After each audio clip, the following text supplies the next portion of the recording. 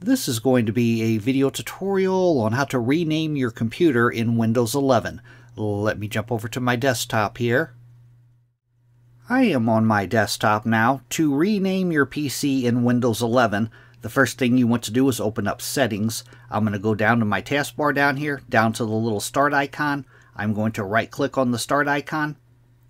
Then I'm going to go up to where it says Settings, and I'm going to click on Settings.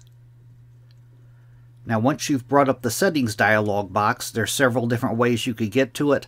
I am currently on the home tab and right off to the right here it tells me my the name of my PC and below that it says rename. If I click on rename it brings up the little dialog box that says rename your PC.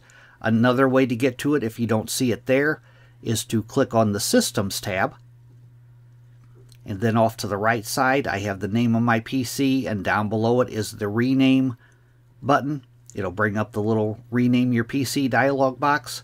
If you don't see it there, you could scroll down to the very bottom of the center pane here to where you see it says About. Click on About.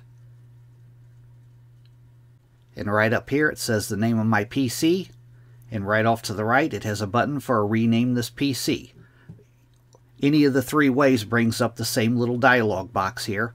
And then right in here, you would type the name of what you want to call your PC.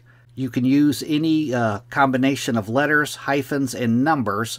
There's a few things that you can't use. You can't use spaces.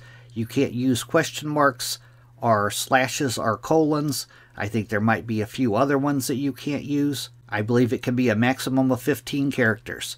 And once you've renamed your device, you would click on Next to finalize it. That is how to rename your PC in Windows 11. Thanks for watching.